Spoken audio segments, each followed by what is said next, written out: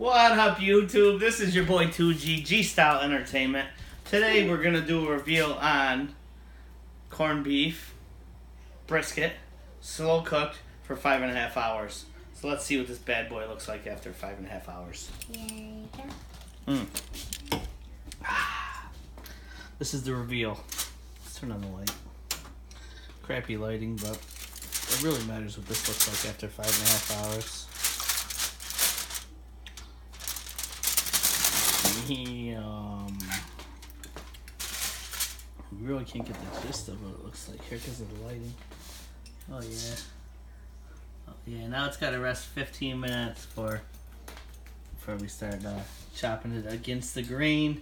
It does have uh, Dijon honey mustard glaze. So I will come back with the finished product.